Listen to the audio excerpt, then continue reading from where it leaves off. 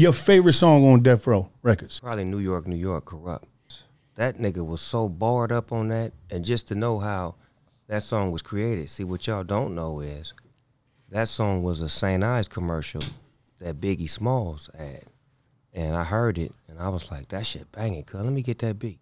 It's only a commercial, so we had Biggie. He was like, he ain't tripping, so we took the beat, and I was gonna rap on it, but I was like, I don't know what to rap about, so I just put the hook on there, New York, New York, because it's an old Grandmaster Flash song, and I Yeah. like.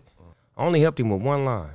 It's gonna take a miracle, like Niecy, like Niecy. He thought it was somebody else. He said it was somebody else. I said, no, that's Niecy. And he said, okay, like Niecy, it's gonna take a miracle.